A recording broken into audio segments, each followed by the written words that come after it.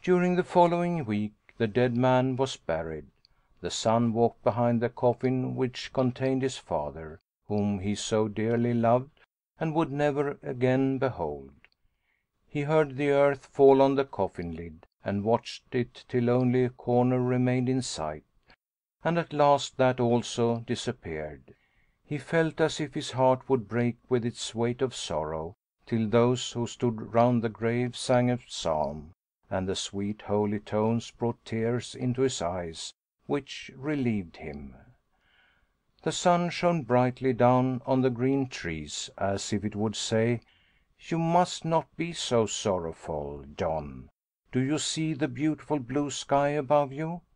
Your father is up there, and he prays to the loving Father of all that you may do well in the future."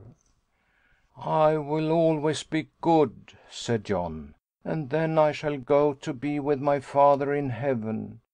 What joy it will be when we see each other again!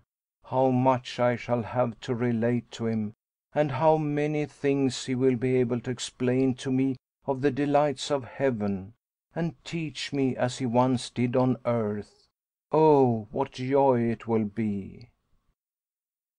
He pictured it all so plainly to himself that he smiled even while the tears ran down his cheeks.